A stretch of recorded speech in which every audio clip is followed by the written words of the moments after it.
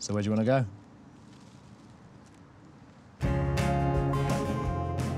You're kind of blunt. I have autism. Huh. You're driving up together. It'll be awkward. I raised a gentleman. Gonna stay safe.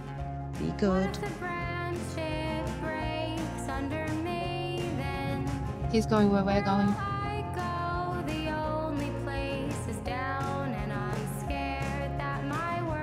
My family make me feel like an alien.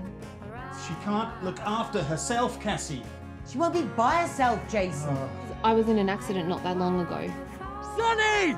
But there are people that are far worse off than you. I shouldn't have told you. You don't understand. Why are you getting so mad at me? Sunny, it's not always about you. My heart rate is through the roof. But in like an exciting way. Not like when you go swimming and sometimes you hold your breath underwater and it gets to a point where you're like, just a few more seconds and I'm a goner. What?